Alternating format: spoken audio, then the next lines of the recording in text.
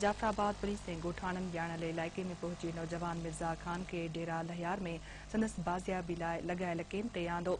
उन मौक़े ते सिंध टीवी न्यूज़ सां ॻाल्हाईंदे नौजवान ॿुधायो त खेसि रेलवे बंद तां हथियार बंद अगवा करे अण जा तलहंद खणी विया हुआ।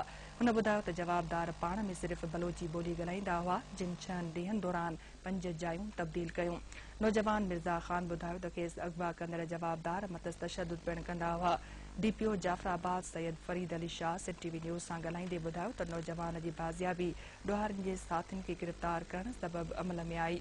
डीपीओ जो चवण हो त अगवा केस में चार जवाबदार गिरफ़्तार थी चुका आहिनि त ॿियनि जवाबदारनि जी गिरफ़्तारी लाइ ऑपरेशन जारी आहे।